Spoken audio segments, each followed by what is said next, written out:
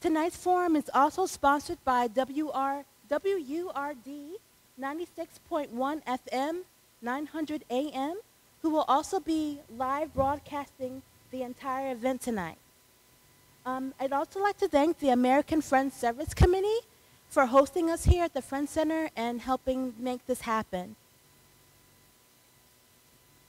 Um, special thanks are also due to the Deaf Hearing Communication Center, who will be providing ASL for the entire event um, for our um, hearing impaired family here and at home.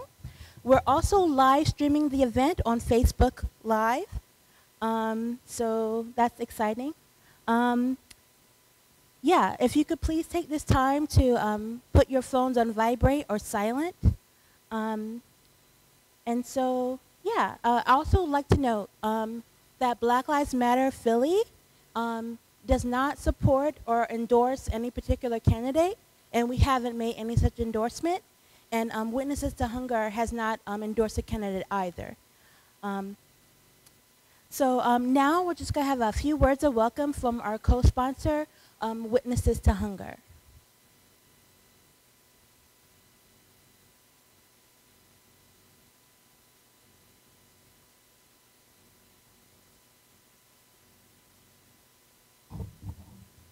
Good evening, everyone.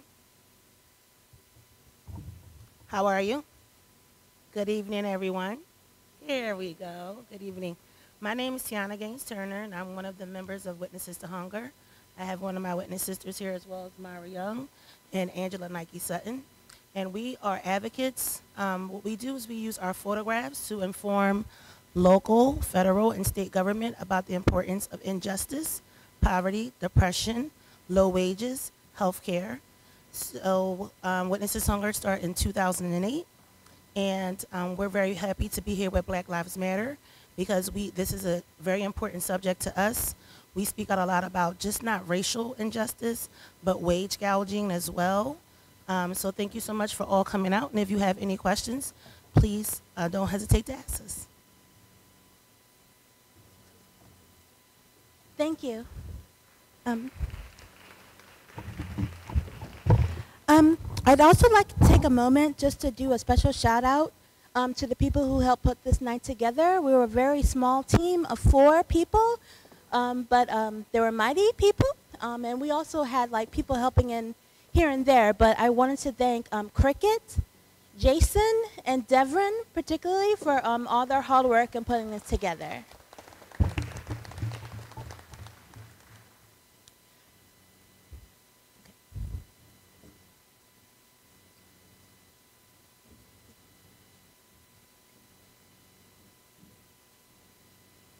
Um, so Black Lives Matter Philadelphia, um, we're a black-centered organization that collaborates with partners to build a politically and economically empowered, healthy and whole black community with the ultimate goal of building black power and liberation for all people.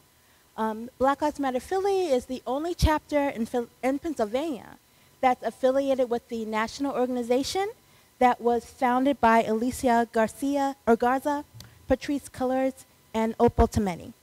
Um, we also, before we get started, want to take a moment to acknowledge that uh, a man was uh, shot and killed this morning by Philadelphia police um, in southwest Philadelphia.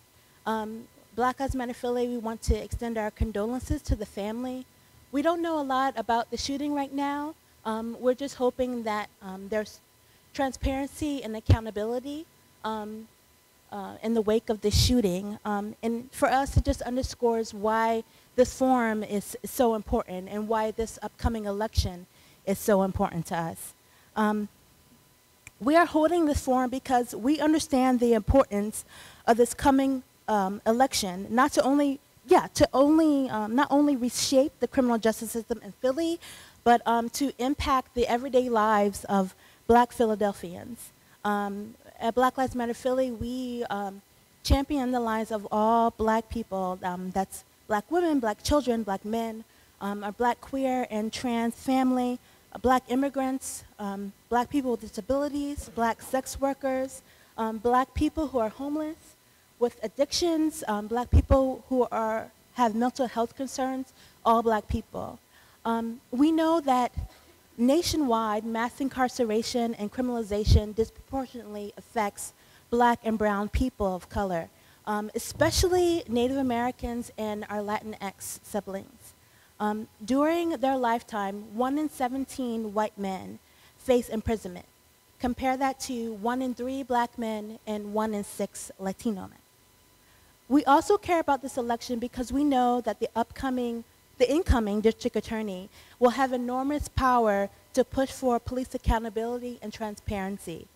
Police killings of black and brown people nationwide are still a problem, um, although it no longer makes the daily news like it used to. Um, last year, 1,092 people were killed by police. Um, so far in 2017, 426 people have been killed by police. Again, black people, Native Americans, and Latinx people are disproportionately the victims of police killings. These killings rarely result in criminal charges and almost never result in prosecutions and convictions. Um, these national figures and statistics can be staggering and very disheartening, um, especially with the current administration making every move to roll back the very small, modest reforms we were able to get and to take away um, our individual rights to free speech and, um, and collective action. Um, just yesterday, um, Attorney General Jeff Sessions, um, he directed federal prosecutors to seek the most serious criminal charges against suspects, um, a move that is projected to reverse the recent declines we've had in the overcrowded federal prison system. So when you came in, hopefully you got a, a sample ballot. It looks like this. Um, I wanted to um, just direct you to it uh, before we get to the judicial portion of the evening. Um, when you step into the voting booth on the 16th, um, most of you probably know this, but you'll only be able to um, vote um, for the party that you registered for. And so the only exception to this is for um, one judge, um, his name is Vincent Furlong, whose name appears under both uh, political affiliations. Um, there are also two ballot questions um, that are going to be on the ballot. That is a, a good idea to look at, um, just sort of get an understanding before you go into the, the polls. Um, if you go to the Committee of 70's website, they have um, links to the plain English explanations of these ballot questions. So we're going to open up our question and answer period with 12 candidates for the Court of Common Pleas. Um, the judges elected for the Court of Common Pleas preside over cases that deal with felony um, charges, domestic violence, juvenile delinquency, voter ID laws, termination of parental rights, and asset forfeiture, to name a few. Um, at the table, we've already welcomed um, our candidates. Um, we have um, Henry McGregor Sias, um, Ms. Danielle Patterson, Vikki Kristiansson, Judge Lucretia Clemens, Wendy Barish, Deborah Canty, Zach Schaefer, Mark Moore, Leon Goodman, Terry Michelle Booker, and Judge um, Stella Tsai. And I think William Rice um, was supposed to come but couldn't come. And so, yes, we have John Macaretti um, here instead. Um, so if each candidate um, could just take 30 seconds to introduce themselves, we'll start with um, John Macaretti. We have microphones in the middle. If you could just pass them to one another. You might have to turn them on. Um, they're probably off.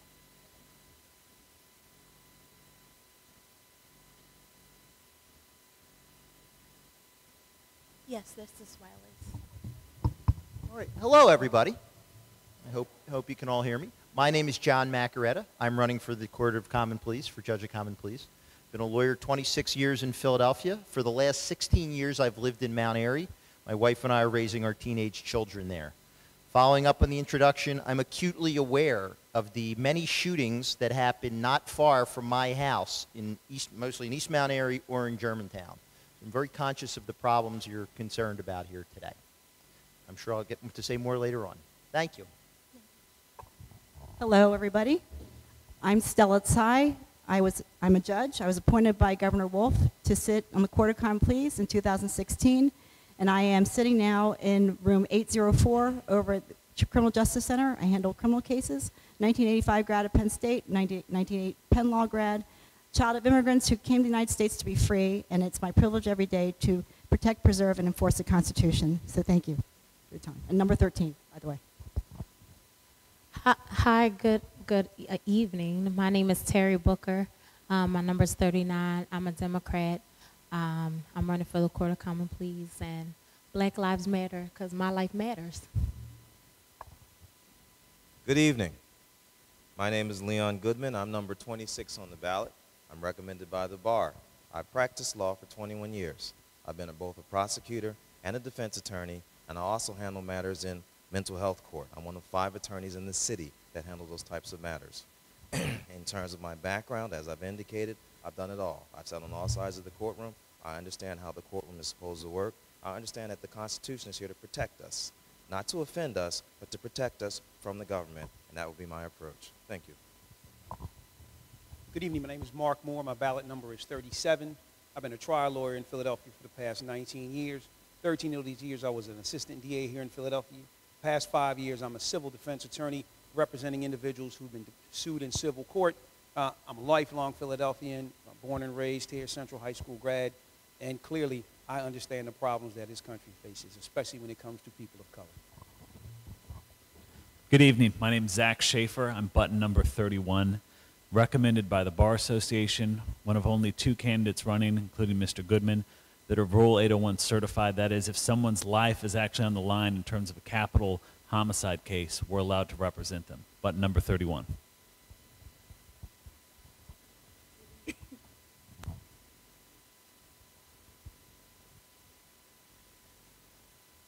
Good evening. My name is Deborah Canty, button number 27.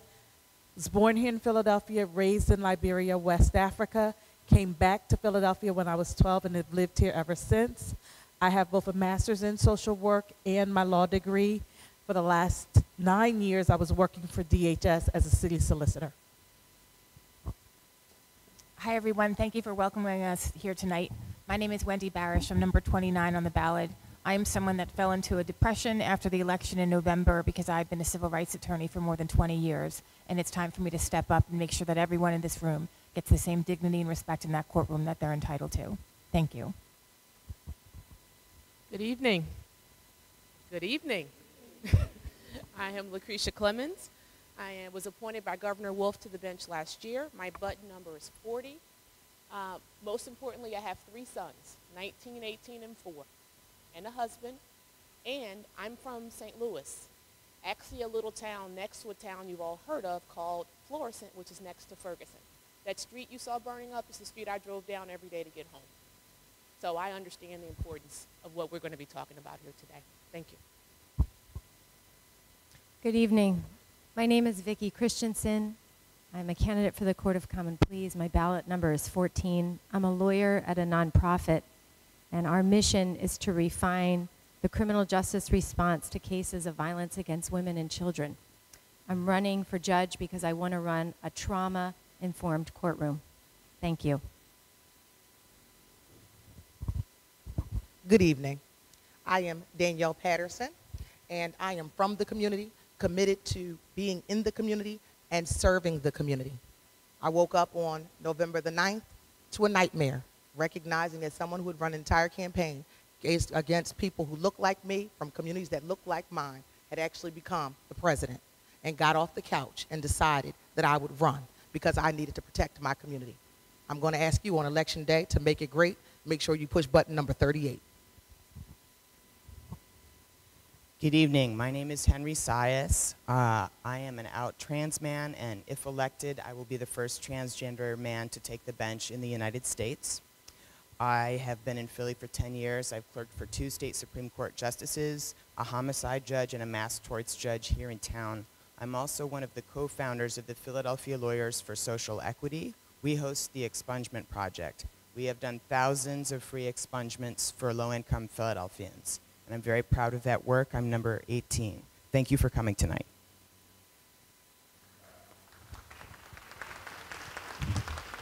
Thank you to all our candidates for coming. Um, before I go into the questions, um, I just wanted to touch on a few rules um, by which judges have to abide um, that might limit um, how our candidates respond to the questions. Um, so a candidate shall not act as a leader in or hold an office in a political organization. A candidate is prohibited from making commitments with respect to cases, controversies, or issues that are likely to come before the court, and a candidate for judicial office um, may state personal views on legal, political, or other issues, but may not make pledges or promises other than the faithful and impartial performance of the duties of the office. Um,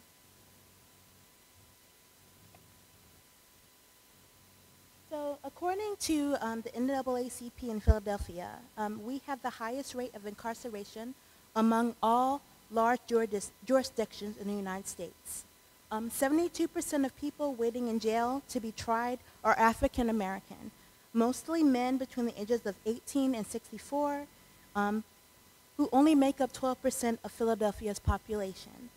The time spent waiting for trial is four times longer than the national average, and 60% of people in Philly prisons awaiting trial are there for low-level, nonviolent offenses.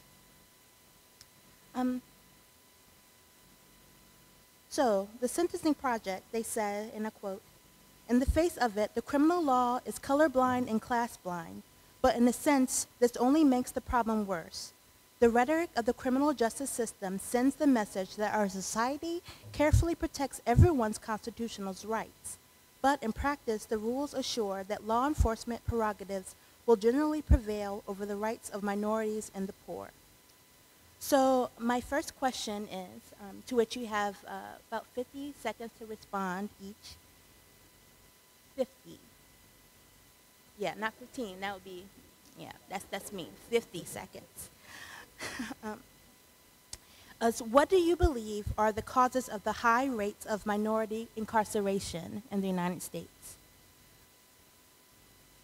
Anyone can answer that question.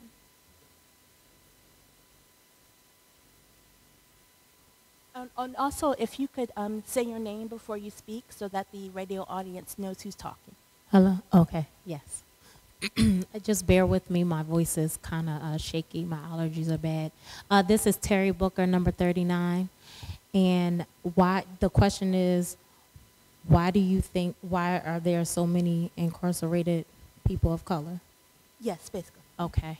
So I, I believe uh, there's a lot of incarceration of people of color because, I mean, if you look at the history of the police department, uh, the police department was uh, built to originally catch slaves. So that's that's the original, the root of the police department. So uh, when I feel like you have a police department that's built on that, and as the generations go on, uh, and you are trained and you have all these biases that are put out in society, the media, those types of things that lead you to believe that, oh, these types of people are the people who are starting the most trouble. That is part of the reason why you say, oh, well, they are the troublemakers, so we have to arrest them. And then it's just, and it goes on and on. So if you're the most arrested, then you're the most prosecuted, and then you're the most in prison. So. Thank you. Would someone else like to respond? Um, and also, please say your name again. Um,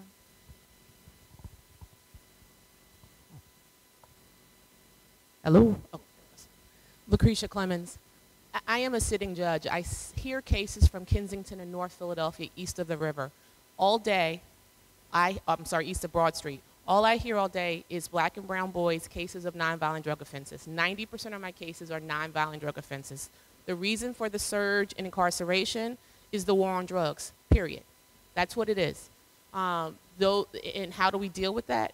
Half of the people who come before me are either drug addicted and or mentally ill. They need treatment, not jail. And for those who are committing those uh, nonviolent drug offenses because of economic um, reasons, They need education and an opportunity to earn a living wage. Um, that's what I do every day. I'm in courtroom 604. Come and see me. Uh, my name is Vikki Kristiansson. I, I just wanted to um, to add to that. A lot of our, the candidates we know each other very well. We spent about six months uh, with each other at this point every day. Um, so a lot of times when one of us will start to speak, many of us will know. And and um, and Judge Clemens says she hears these issues every day. The other thing I want to point out, and piggybacking on what she said, is the importance of our understanding and acknowledging um, what is happening in our schools and most of the people in this room are fully aware that we have um, a, a school to prison pipeline. And for both our boys, and we need to talk about this more, and our girls, an abuse to prison pipeline. Hi, I'm John Macoretta. Um, we do have too many people incarcerated, and we could do better getting less of them out of prison earlier, more of them out of prison earlier on. There could be more home, home monitoring, home detention, ankle bracelets, ways to divert people out of the system early on. Even from the earliest case, a judge can treat a first offender differently than a third offender, maybe guide a kid off of the wrong path as opposed to sending him on a path to a lifetime of being a repeat offender. Um, bail is too high. There are a lot of people who, you, who can't make $500 bail and shouldn't have to put up $500 bail. So as a result, like you said, they sit in jail much longer than they should. Um, these are the kind of things that judges and the system can do in many cases to keep people out of jail before or after trial that don't need to be there. Thank you.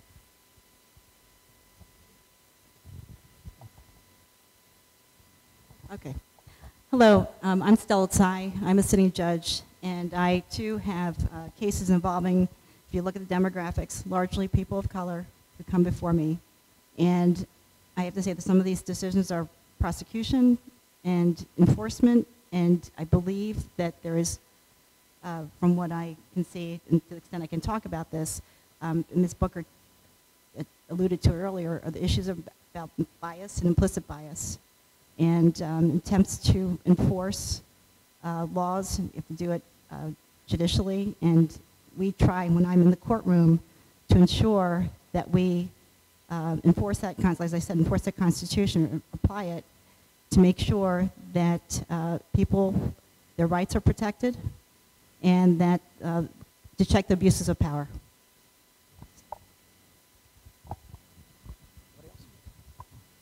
I'm stuck. Danielle Patterson, I'm sorry, got stuck. All of the issues and ills that we've discussed are important. However, we've got to recognize that there's a lack of underlying empathy and understanding of the underlying issues that are going on in our communities that are leading to these ills and the overcriminalization of their behaviors. Things that were once just childhood behavior are now bullying and harassment. So instead of understanding what's going on in the home that might lead to these behaviors, we've got early criminalization of our children, which leads to, unfortunately, a lifetime of bias towards them because that record follows you for life. And then we see over and over again with the arrest, the profiles, what happens. And this leads to more incarceration instead of diversionary programs. Thank you. Good evening, I'm Mark Moore. When we talk specifically about individuals, people of color incarcerated, there are two types. People who are sitting in, in prison because of their waiting trial, and there's individuals who've been convicted. When you talk about people who are sitting in prison awaiting trial, you look at, well, why is their case taking so long to get to, to trial. The judges should be pushing these cases forward. Um, the police officers and the police department need to look at who they're actually charging, and the DA's office needs to look at and scrutinize better who they're actually charging. Now, when we talk about individuals who are convicted, are sitting in prison in long-term sentences, when you look at the judges and you look at the juries and you look at the evidence and lack of evidence that's been presented against them, and then you have cases like individuals who've been sitting in prison or who've been convicted falsely and been in prison for 15 and 20 years. I mean, it's, each aspect of the system plays a part, and we have to demand each aspect of the system do their job. Judges need to move these cases along. DA's office needs to filter out and be a, do better as who they charge it, and the police department needs to do a better job as to who they're arresting. More importantly, who are the police department? Who are they bringing in? Who are they vetting? Individuals who they're bringing into the academy are these individuals just law and order um, beat individuals heads in, or are they actually trying to be peace officers? Leon Goodman, I'd like to also add there's also a mental health component. Police officers need to be better trained. I found in my mental health practice oftentimes that many of those cases, as it relates to Philadelphia police versus SEPTA police, the SEPTA police go with the mental health component. They bring them to the hospitals. Oftentimes, because Philadelphia doesn't have the same level of training, the Philly cops lock people up. And so that training aspect right there can make a difference. Because when someone is suffering from or dealing with the effects of mental illness, they're obviously not in the position where they understand and are doing things in their right mind. And they should be treated differently. So more training and a better understanding of different causes of why these particular things can help to reduce the level of incarceration. Oh, um, just Hello, Henry Sias. Uh, I just want to say when you work in the system, it's impossible not to see the, the force of structural racism. Some communities are policed on behalf of, and some communities are policed at. But what I wanted to add is it's vital that we elect judges who have the strength of character to stand up to structural racism, but it's equally vital that we continue to support those judges because when they make decisions in courtrooms that are going to be unpopular, maybe with the FOP, unpopular with the structures that are producing these inequities, there's going to be some pushback. So don't just select us, keep supporting us. All right, thank you. Zach Schaefer, button number 31. I think that we need to really reevaluate how we're doing things. The first question that should be asked anytime someone is sentenced is how did they get here? How can we make sure that we craft a sentence so that they never come in front of the court again? We don't look at programs like Future Forward where people go to community college for three semesters and they take classes, either employment or parenting classes based on their needs, and then they have their charges withdrawn. This is a great program, but right now we only have four people in it. This is for people that are first or second time felony offenders. And I'm proud to say that I have a client in that program. She's a mother of two, and instead of her being a felon, she's going to have an associate's degree. We need solutions like that going forward. Deborah Canty, in addition to what everyone else has already said, is making sure that we understand the underlying causes of what's bringing people in front of us, and also understanding real solutions to making sure that they don't come back. I think a lot of times we craft solutions that are not designed to have real effective change. And so we need to make sure that we understand the problem and then also real solutions. Wendy Barish, I think that the problem starts with the initial underlying discrimination that people of color are not given the same type of chance as other people in the world. And most people who commit crimes, sometimes they're selling drugs not because they want to use the drugs, but because they can't feed their families. And there's an underlying problem in our society where people are at a disadvantage, and people who are disadvantaged may take additional steps to do things that land them to wind up before court. And we need to make sure that we as a society are trying to level the playing field for all people so that equal, everyone has a right to get a job and to live in a home. But there are some basic things that not everyone is treated the same way in this city, and we need to work on that. Great, thank you. Um, the second question, um, uh, some of you already hit on that um, in the first. Um, but um, leading up to Mother's Day, um, Black Lives Matter Philly, Philadelphia Student Union, and several other, sorry, Philadelphia organizations um, are joining with groups nationwide in the Movement for Black Lives to raise funds to bail mothers out of jail so that they can be with their families on Mother's Day. So far, local groups have raised over $33,000. Um, as of February 2017, there were 6,603 people held in Philadelphia prisons um, who were, uh, who, you know, overall, 63% of them were awaiting trial. Um, many of them there probably because they cannot afford to post bail. Um, for low-income people, even a week or a day in jail can mean the loss of their job, housing, their children, or as we've seen in cases of Sandra Bland and others, their very lives. Um, do you feel that there are problems with the cash bail system? And could you elaborate on what a judge can do to mitigate these problems?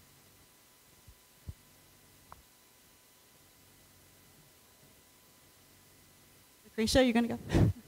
I, I was going to go because I Okay. deal with this every day as Me well too. too. Takes somebody six to nine months from arrest to when they get to my courtroom. I'm in the busiest waiver room in the entire city. What I have, there's very little a court of common pleas judge can do about bail until a person gets to you. They have to be able to wait, make their way through the system. So what I have done is cut the wait time from your last preliminary hearing in municipal court to when you get to me from three months when I took over last year to two weeks. How did I do that? There are lawyers in here who are mad at me right now because I don't grant continuances. Show up on time, be prepared, and try your case. Pe- there are people who wait three and four months to get a date in my room. Nobody should have to sit in jail for six months because they don't have $500 so they could see a judge. It's the system as it's set up does not work, and I'm pretty much outraged by it every day. Thank you. Thank you. Here, here. And um, again, as a reminder, if you could all say your name before you um, give your reply for the radio audience. All right, thank you. Um, I would join Judge Clemens in the desire to ensure that we do not have people sitting in jail. We, are, we monitor that to make sure that, um, and we talk to the attorneys to make sure that they represent their clients in a way that encourages them to, uh, to uh, reduce the amount of time that people have to wait for their uh, trial. Also, uh, if there's no if there's no particular concerns about flight risk, um, we will often uh, grant uh, bail without on, on recognizance. We call it ROR, and uh, I, we haven't had really many problems about that. People show up, so I think that it's a system that we can work really well if we are on top, stay on top of it.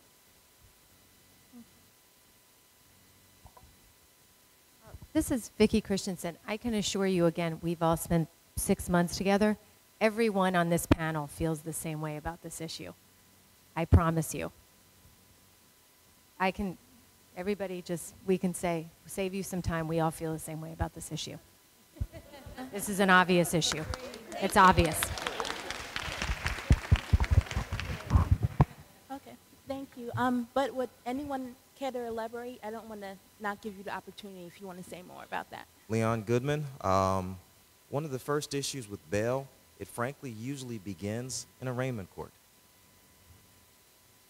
Honestly and realistically, if you've hired a private attorney, your bail is going to be set at a lower level than someone who has the public defender. Because unfortunately, with the volume of cases that the public defender's office has, it literally is a case of what's up next? Okay, you look at the guidelines, whatever the DA's representative asks for, typically is what you get. When you have a private attorney, someone that is prepared, someone has uh, a strategy, someone that has a focus, that person usually gets a much lower bail, and then they're in a position where they can get out. And that's not fair. But that realistically is part of the problem that we have in Philadelphia. Just uh, one quick story. This is Zach Shaffer, button number 31. I had a case that the court appointed me to do. I was paid $400 to do this case. This young man's bail was $1,000. He sat in jail because he had a fight. Somebody lost their wallet during the fight. They charged him with robbery. He sat in jail for four months until we were able to get his bail down to $500. And his poor grandmother had all these fish fries to raise up that $500 to get him out. Now, the problem is that after we finished his trial, where he was found guilty of a misdemeanor of third degree and given six months probation, the real sentence was that he did not graduate high school, he did not start a community college, and he lost his part time job. That does not make us safer in any sense. We really need to reevaluate bail. Thank you. Does anyone else care to respond? Do you agree with us? I do agree, as Vikki said, we all agree that there need to be less people paying less bail in the system. John Macoretta, number 16. So let me end on this. You started with Mother's Day. You know, there's a lot of mothers on the other side. Every, every Sunday I drive by, I see the bus on Washington Lane taking moms and families out to see their families at Graterford as well. So that's another victim that the system needs to keep, uh, keep in mind. Every defendant has a mother who's suffering as well. So since you started with Mother's Day, I'm going to end with that. Thank you. Thank you. For the third question, um, the country right now is in the midst of a political crisis um, that we all know, um, where fundamental constitutional rights are under attack and vulnerable communities are being made even more vulnerable.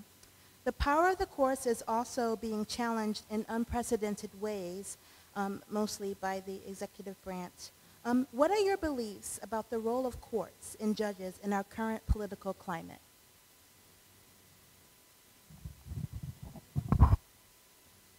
Again, preface your response with your name. Good morning. Good afternoon. My name is Mark Moore, ballot number 37. I mean, if you've been reading the, paper, you see that federal judges and state judges are like the first line of defense against, and I'm not even going to call his name 45. Um, I mean, the, the, he's finding that uh, for all his bluster, the laws still hold. Federal judges and state and local judges have the power and the sovereignty to stop some of the uh, some of his foolish executive orders that come down. Now, remember, the states are their own sovereignty. The federal government is its own sovereignty, but the states have a constitution as well. And so, a, a state judge has its his or her own power. And what you need and what you're starting to see is judges who are who aren't afraid to stand up to 45 um, and uh, criticism that comes along with standing along up, up to the president.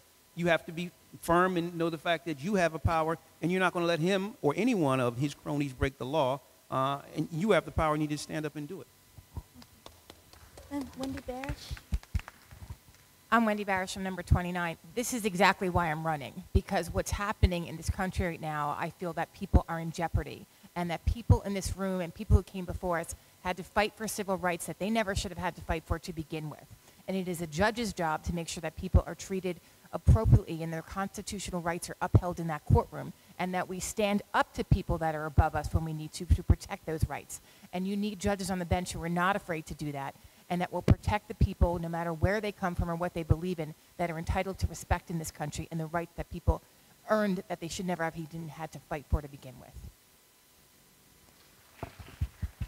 Leon Goodman, number 26. And that segues into what I said when I first spoke. The Constitution is here to limit the government of what it can do to the citizens. It doesn't grant us rights, it tells the government what it cannot do to us. And as you've heard from the various judges here, that's the philosophy that we all have. That we view that Constitution as the protector of all of you. Not what gives you rights, but what keeps the governments from infringing on your rights. Danielle Patterson, number 38. When our forefathers founded this country, they put a check on government, period. That third balancing act is the courts. But, and we spend all our time worried about the Supreme Court. But in order to get to SCOTUS, you've got to focus on the lower level courts and the kind of characteristics and values that those individuals have and how they view the Constitution. Justice Sotomayor tells us that it is their diversity of the bench and the underlying issues and the different practices that lawyers have that make them good jurists because they're able to understand the Constitution as a living document as it applies to our people as we live here today. One of the issues here, as we deal with 45, is that he wants to take us back 50 years to what he believes is the real Constitution and how it should be applied. So you have choices to make whether or not you value certain things in your life and you want judges on the bench who have those values. Thank you. Uh, Vikki Kristiansson, I'll just add to that. Uh, Danielle brought up uh, a, a very recent uh, Supreme Court opinion that, that talked about attenuating circumstances. And this is a reminder to everybody of how important it is to look very carefully at your candidates' backgrounds and to look very carefully at, at the, the work that we've done and, and what our values are.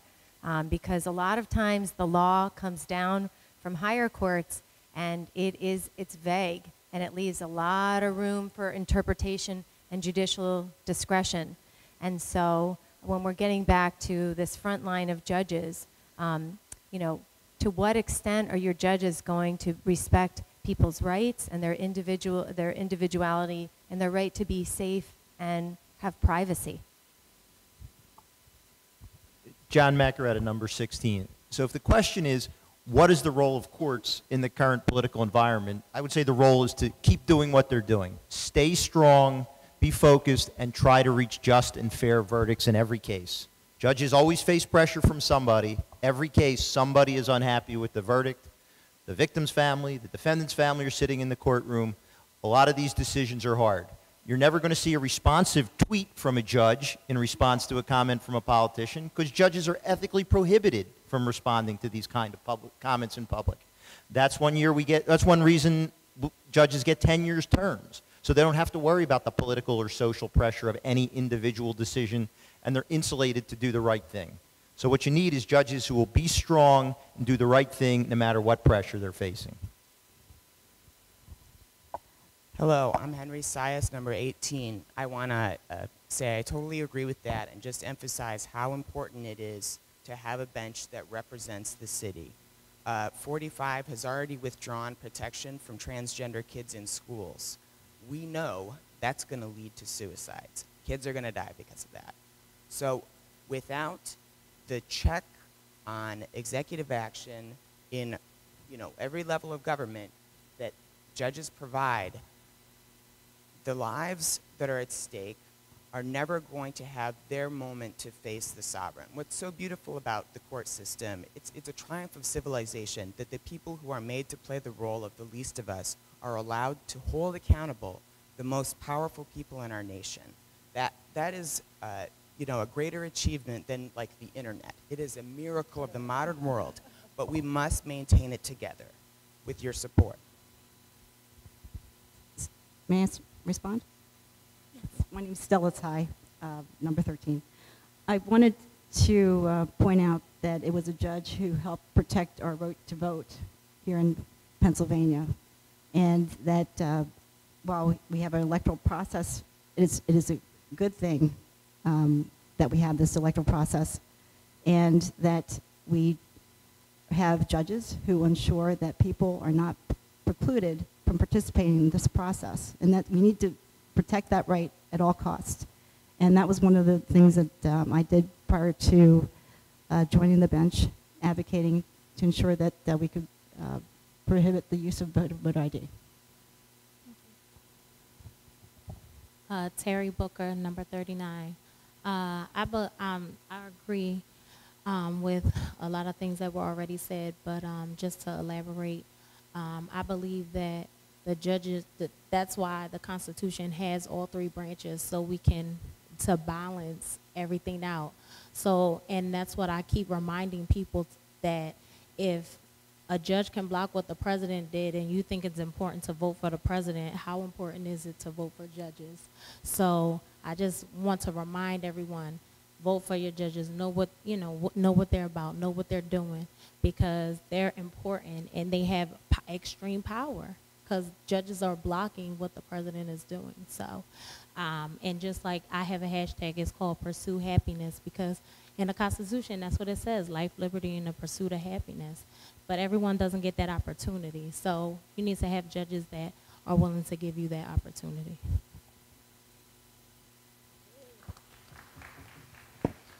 Thank you. Um, Did everyone get to respond who wants to? Okay. Um, This uh, next question sort of follows up on that in some ways. Um, We began with, Um, as I I was saying, um, this next question um, follows up somewhat on the last question um, that was posed. Um, When we began this session, um, you all gave brief introductions um, that included your background and experiences.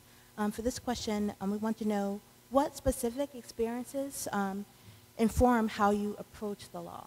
Um, So maybe point to things in your background, maybe before you were on the bench for sitting judges, for lawyers, your current practice, things that you've done or encountered that inform how you approach the law.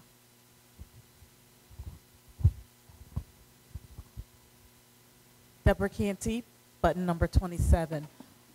A lot of what informs how I approach the law is my background. Prior to going to law school, I spent several years working as a social worker in and out of communities throughout Philadelphia and getting to understand what our community was facing because most of the individuals that I was working with were people of color. And so being able to understand how things impact. And in fact, that's what motivated me to go back to school was understanding how important it is to be able to advocate on behalf of people and knowing that the people in the courtroom are those who can take away rights from individuals.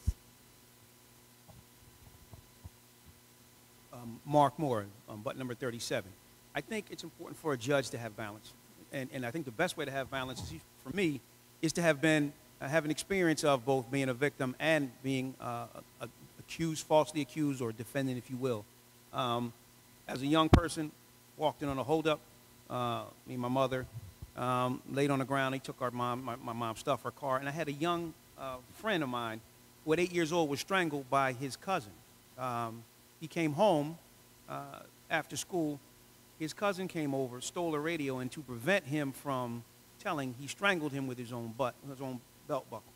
Um, I've also been a victim of and, and had some issues with being harassed by police. When I was younger, I remember one time coming home from Germantown Friends basketball camp. Um, cops pulled us over. Uh, group of them pulled guns out. Young man, and they said, well, you know what? You all fit the flash information of, uh, we got a robbery. Um, I'm going to wrap it up. I wondered even then, how in the world could you figure we were, had robbery suspects, we were walking with basketballs in our hand and 32 ounce um, big gulps. So I think it's important as a judge to have both so I can emphasize with both. And I think most judges, you're looking for a judge who can do both. This is Wendy Barish again. I became a lawyer and I knew I wanted to be a lawyer at a young age because I have a sister that's handicapped. And growing up, I saw how people treated her differently because she couldn't do things the same way. And while it was okay for me to fight with her, no one else could fight with my sister. So I'm very sensitive to how people treat people that look differently or do things differently unfairly. And that forms the basis of how I look at things. I also have a father who has a record and has been unemployed and homeless in his life, and I've had to support him. So I know that when you sentence a person, you're sentencing a whole family. And I'm very cognizant of that in how I conduct myself and how I would handle things on the bench. Thank you. Zach Shaffer, button number 31. My experience has been informed by the 1,600 plus people I've represented. And in particular, there's one young man who was sentenced to 30 years. He had a court appointed attorney. And I, his father came to me and said, My son didn't do this. His children want him back. I filed an appeal, and in this appeal, I brought up the fact that the judge allowed in this extra evidence from a separate arrest that was actually nol prossed, which meaning the case was thrown out. It had nothing to do with anything really. And they allowed this in, and the Superior Court said that was an abuse of discretion. It was so bad that you needed a brand new trial for this young man. So the DA's office appealed it all the way up to the Supreme Court, and he sat in jail for about three years until we got him that brand new trial. And at that new trial, we brought in the evidence that this shooting that was 30 minutes away from his work, he worked at the airport, it happened at 1245, but he logged out with his thumbprint at 1 o'clock. So he walked out of that courthouse an innocent man that almost did 30 years. So judges matter. This is a very important election, people. Zach Shaffer, number 31. Lucretia Clemens, button number 40. My husband has been a federal agent for more than 27 years. When we get pulled over, that cop doesn't know he's a federal agent. I have three sons, two of them are teenagers. I was a partner at one of the largest law firms in the city, where I was the first African American woman ever elevated in the almost 125 year history of that firm from associate to partner. I sit on the bench every day and I watch a parade of black and brown boys whose lives are in turmoil. That is what informs my decision making.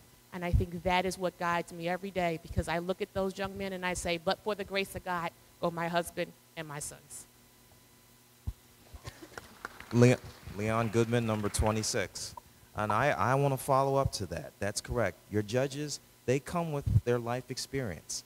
So you need to have judges that have lived, that have seen things. You need to have judges that have worked on both sides, that have an understanding of what it is to prosecute, what it is to sit with the family of a murder victim, what it is to counsel an individual that has been sexually assaulted. But then at the same time, need to have judges that understand because they've worked on the other side as well, having sat with an individual who was wrongfully convicted. Similar to what Zach described, I have a similar story of a client who was convicted of first degree murder. First degree murder. And he served 10 years. And a judge, a strong judge, and I will say her name, Judge Sarmina, decided that, you know what, he's entitled to a new trial. And I did that new trial and walked him out of that courthouse free, proving to the jury that the government's witness was in fact more likely the person who did the killing. So you need to have judges who have worked on both sides, have sat, and you understand that they're bringing in their life experiences. Judges that have been in a situation as Mark has described, walking down the street being stopped, so that when you hear that type of thing, you understand it. But at the same time, judges who have law enforcement in their family as well, because it's a two-way street. So judges with their experiences, and you need to understand, and that's why it's important who you elect, because you want to have those complete type people.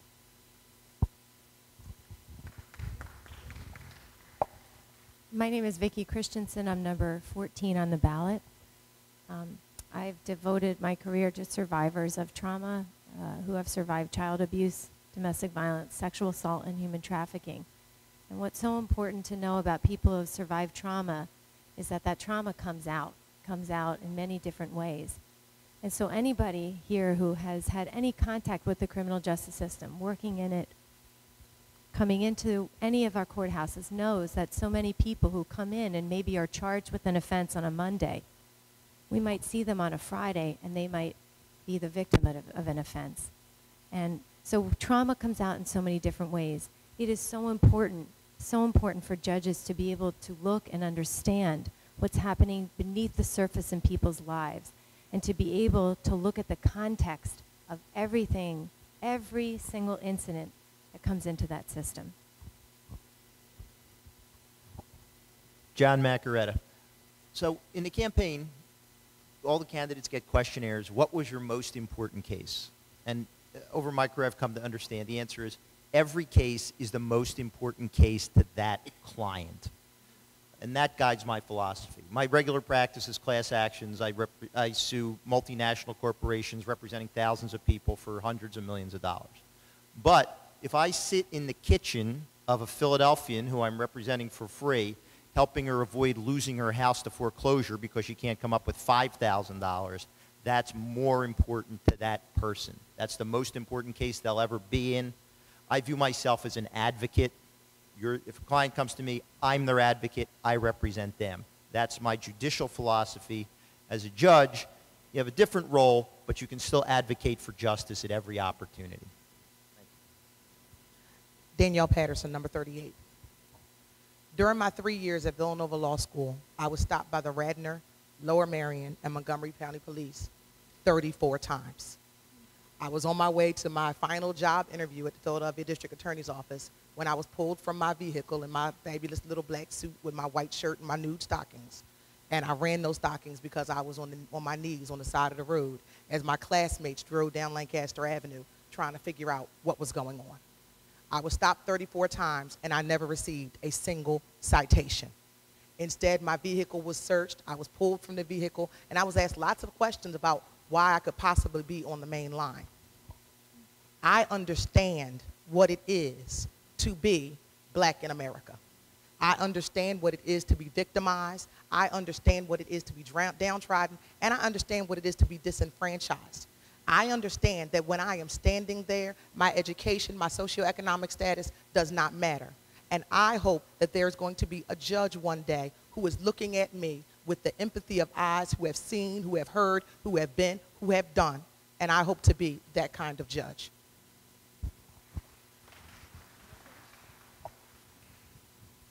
I'm Henry Sias, number 18. It would be impossible for me to address this question without talking about transitioning as an adult professional working in the courts. Now, I'm glad to say I've largely been embraced by my professional community, but I'll probably never see my mother or any blood family member again. And that does hurt. And there are days, even in uh, my professional career, when it's just hard. Like, it would be nice to have one day off from being a trans guy. Just like I'm sure it would be like great to have a day off. You know what I mean? But you just don't get to. So if it's hard for me as a straight white guy who's trans, what must it be like to get out of bed every morning as a trans woman of color who in our city has a life expectancy of 34 years?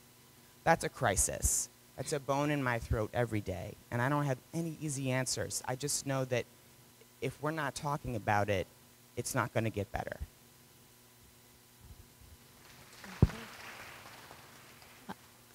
Terry Booker, number 39. Um, experiences that shaped my approach to the law, I would say would be, um, I guess, knowledge, because I, I always focus on people knowing the law, because so many people don't know like basic stuff. So when as I as I sit and I speak to a client, and they're like, you know what? You're the first attorney that just listened to me. You actually heard what I was saying. It's that human approach to connect with people and just know that they don't understand what's going on. They don't understand the law, and you do, and you have the power to help them. So just being able to help people, that's what I wanted to do. That's why I became a lawyer, and that's what I've been doing, helping people with real issues, real things that matter to them. So, thank you. Stella Tsai. Um, I wanted to share with you, we're in a Quaker meeting room, um, something I learned when my children were in Quaker school, and a statement which has resonated with me and continues to resonate with me through my practice and through my work as a judge, and there's that of God in all of us. And it is, a, it is a statement to me that is profound because it uh, helps me recognize people as individuals and that they all deserve respect and the protection of our laws.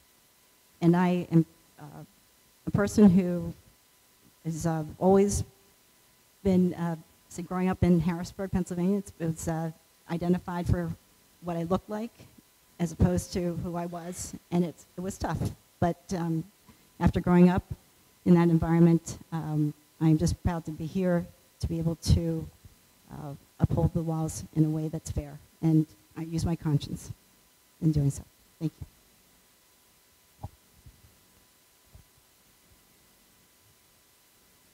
That's everyone? Okay. Um, and so we have time for um, one final question. Um, mandatory sentencing requires offenders that offenders serve a predetermined term for certain types of crimes. This is set by the legislature and carried out by the judicial system.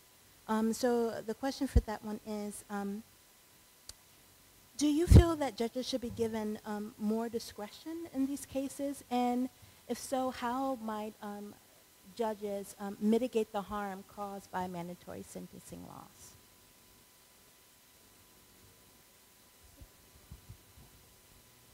Hello? Okay, Leon Goodman, number 26. Um, I think everyone up here will agree that the whole concept of mandatories has basically been a complete disaster. That's one of the reasons why we have this mass incarceration that exists. Many of those individuals were incarcerated because of, in particular, drug mandatories. Nonviolent offenses, individuals who oftentimes based on socioeconomic situations had, had limited choices, and they chose that approach, and as a result of the mandatories, they were incarcerated. Judges generally did not like them, and fortunately, the U.S. Supreme Court did away with them. You all need to know, though, that this is currently a movement in some state legislatures, including this one, to reimpose the mandatories. You need to contact your legislatures and let, you, let, let them know that you're against that type of thing because it takes discretion away from the judges. The person who knows you best, the person who has had a chance to see what you did, the person that has had a chance to judge to make the determination of guilt or innocence is best in the position to determine the appropriate sentence. And when mandatories are there, that judge loses that ability and you become a number, no longer a person. Danielle Patterson, number 38. One of my biggest pet peeves with my clients is they come to me, and I don't know if y'all know this person, but it's my sister's cousin's Uncle Jojo Barber down the street hairstylist told me that they had exactly the same case. And they come to me and they expect that everything's going to happen exactly as those things happened to this unknown person who's apparently famous in Philadelphia.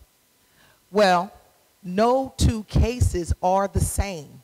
No, there cannot be the same approach to any two cases. Yes, we may be functioning under a certain statute of the law, but the circumstances that led to that case, what actually happened in that case, are always different. So I don't think you're going to find a judge who's going to want to put a cookie cutter solution on something that is a complex problem and an issue that is before them that's a complex issue. Every person that comes to court is supposed to be respected and treated as an individual, and mandatory minimums take that away. One of the things that people don't really realize about mandatory minimums is the actual weight of the drugs that trigger a mandatory minimum. Take a dime, hold it in your hand, feel it, feel that weight. If you had that much heroin or cocaine, you would be subject to one to two years under the old mandatory minimum sentencing. It could be your first arrest ever.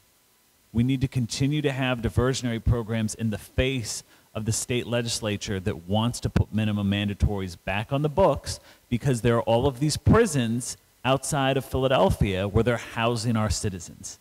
We need to stop that. We need to have programs like Future Forward, which I talked about earlier, where my client was looking at three to six years. Instead, she's doing three semesters at community college. We need creative solutions going forward in light of this legislature that is hostile to us. Mark Moore, button number 37. Um, you got to look at what's going on. The, the state legislature is now trying to reinstitute mandatory minimums. At the same time, you're starting to hear the issue of privatization of prisons, which I, I mean, I don't know why there's not more focus on that. Because when you privatize prisons, they become a business.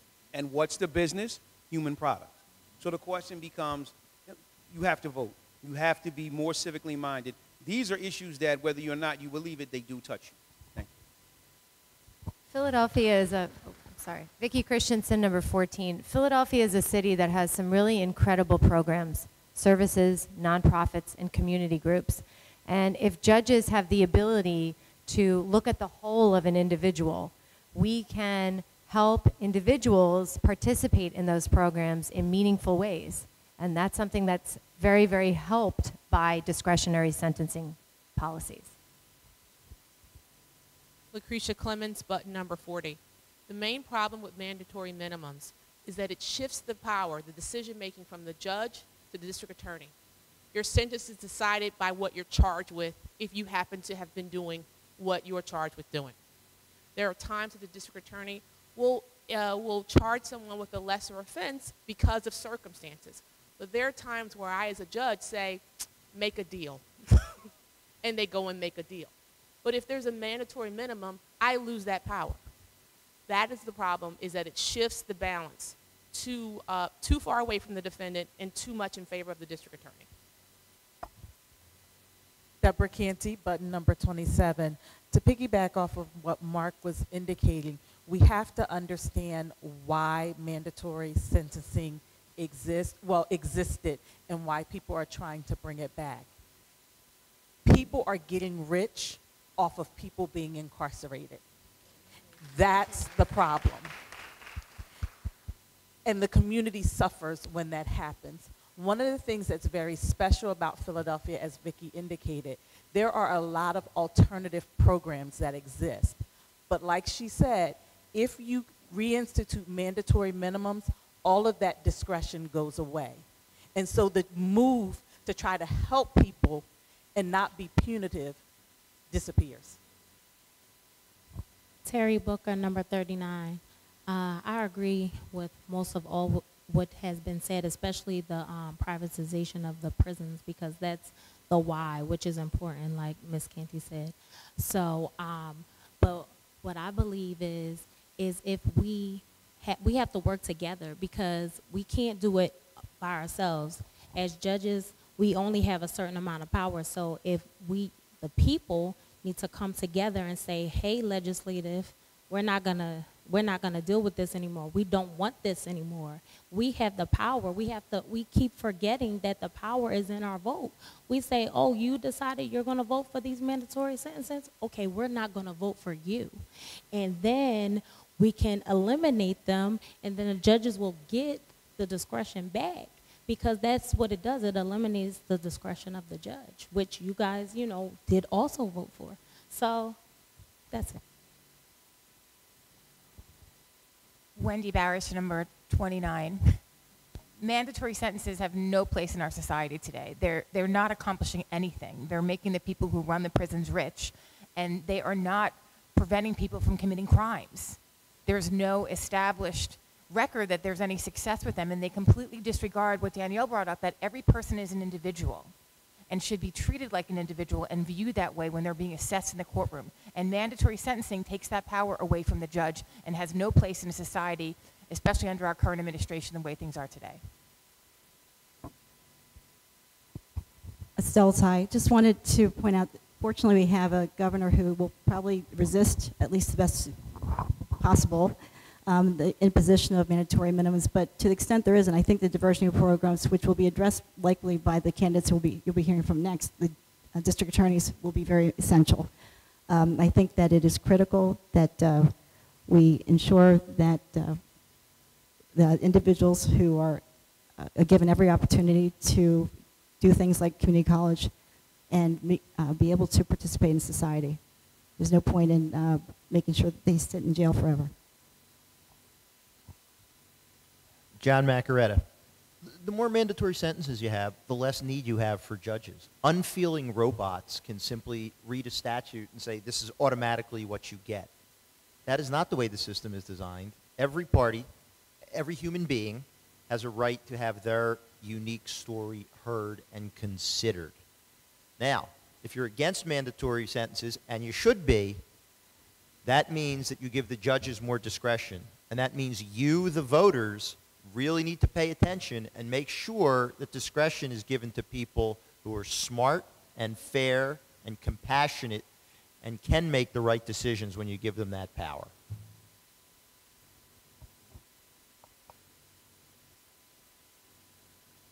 Thank you. Um, so I think we have a few minutes left um, where you could give a final statement if you'd like. Um, if you could keep the statement to about 30 seconds, um, just like your introduction. Um, if we want to, we can start um, down the line with, you have the microphone. I started the opening, I'll start the closing. That's fine. John Macoretta, button number 16. First, recommended by the Bar Association. Very proud to say that's a, that's a serious process that you should consider as well. I like to think that I have a diversity in life and in the law that makes me a good judge. I practice in every court in the city, from the smallest municipal court case up to the Pennsylvania Supreme Court and the Third Circuit Court of Appeals. I've lived and worked all over the city, from Northeast Philadelphia to the Navy Yard to Mount Airy, where I live now. I have all kinds of jobs and life experience, a lot of experience with kids. All of that combined makes me aware of the many unique stories. It's one city, but we all have our own realities. That's an important thing for a judge to know and an important experience to bring to the bench. Hopefully you'll consider that. John Macoretta, number 16.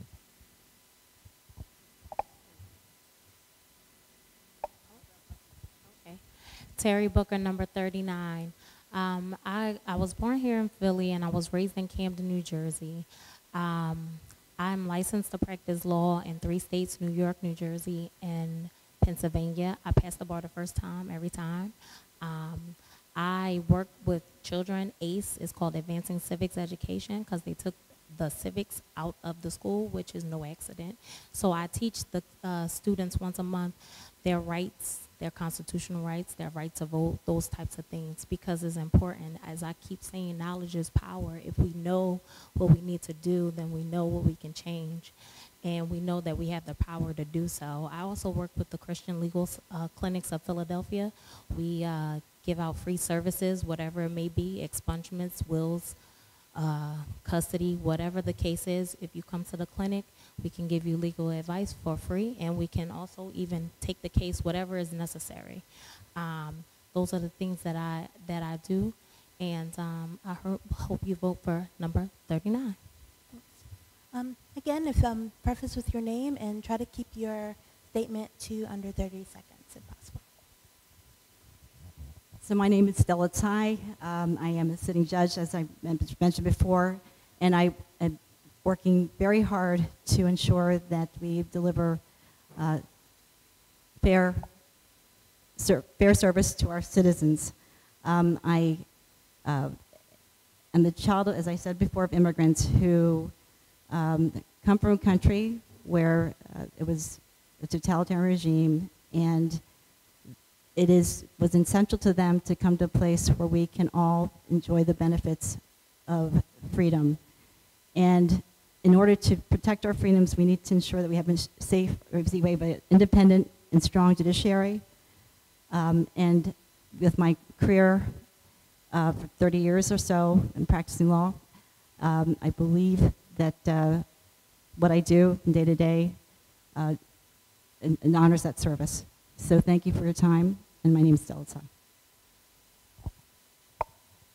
Leon Goodman, number 26. Integrity, compassion, and experience. Those are the three models of my uh, campaign for judge. We already know what happens when we don't have integrity. We've all seen it in the news. You need to have judges with compassion because justice must always be tempered with mercy. And you need experience because, frankly, life experience is like wisdom. There's a difference between wisdom and knowledge, and you want someone that has wisdom because wisdom will ensure fairness to all. Lifelong resident of Philadelphia, Central High School, North Carolina Central, Villanova University, and I went back for my master's at Temple. So that having been said, I'm recommended by numerous unions, progressive wards, and the Philadelphia Gay News. Remember, integrity, compassion, and experience. Number 26. Good evening, I'm Mark Moore, ballot number 37. My motto is delivering justice fairly with wisdom and experience. I've been rec- recommended by the Philadelphia Bar Association, endorsed by the Guardian Civic League and the Black Clergy.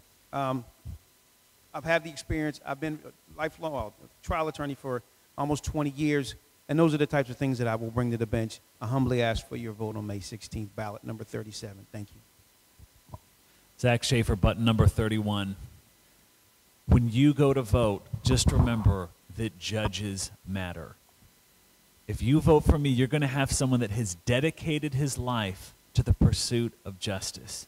Someone that, in the past 26 years, there's only been 20 people that have been exonerated in Philadelphia. One of those people is a client of mine that I talked about earlier. You're going to have someone that has always represented the people, that's for the people, that's community oriented, is going to make sure everyone gets their fair day in court and looks for creative solutions instead of mandatory, man, excuse me, mandatory minimum sentences. Deborah Canty, button number 27. I am recommended by the Philadelphia Bar Association, and one of my slogans is my biggest slogan my justice is balanced with compassion. I believe what uniquely sets me apart is the time spent as a social worker along with my master's in social work. And so that's what enables me to have compassion as I'm listening to people in their cases and making sure that justice is measured out fairly. Wendy Barish, number 29. I am a proud product of the public schools and public assistance programs in the city, and I'm running to be a judge because whether we want to be or not, we're in a new type of civil rights movement right now, and we need people to protect the rights of everyone in this room. I know that I was afforded certain privileges throughout my life just because of how I look that I may not have earned, and there are many people that are on the opposite side of that and that are constantly at a disadvantage. We need people that have judges on the bench that understand that and the sensitivity to treat people compassionately and with fairness. And I would appreciate your support on May 16th. Lucretia Clemons, button number 40. Not only do black lives matter, black robes matter. In my view, having sat on the bench for almost a year, there are two things that are most important in being a judge. You got to know the law and you have to care. Button number 40. Thank you. My name is Vikki Kristiansson. I'm button number 14. Um, I am running because, as someone who has worked on behalf of survivors of trauma my whole career, I want to run a courtroom that is trauma informed. So that means that everybody, everybody in the courtroom is proceeding with the consciousness of a goal of restorative justice and completely avoiding any re traumatization of every person who comes into that courtroom. Vikki Kristiansson, Court of Common Pleas, number 14. Thank you. Danielle Patterson, I'm number 38. In 2005, I became the second African American female member of the Millionaire Advocates Club here in Philadelphia, meaning that I had verdicts or settlements in record in excess of a million dollars. It is 2017. There still is no number three. Why is that? Because the Philadelphia bar lacks diversity and our Philadelphia benches lack diversity. We're here at a Black Lives Matter event. Well, you want to make sure that Black Lives Matter? Put some black bodies in those black robes so that there is equal access to justice for all. Danielle Patterson, number 38. I'm Henry Sias, number 18. I've been working in the courts for a decade, working on criminal records reform, working on indigent de- uh, defense reform. Uh, but I'm asking for your support for, for a reason that's bigger than me. I think it would be incredibly meaningful for the first time in Philadelphia's history for the city to embrace an openly transgender candidate. I think that would be a beacon of hope for a lot of people who are experiencing darkness and hopelessness right now. So I ask for your support next Tuesday. I'm Henry Sias, number 18. Thank you. I want to thank all of the candidates for joining us tonight. Um, so give them another round of applause. Um, remember on Tuesday that on your ballot you can vote for up to nine candidates for the Court of Common Pleas.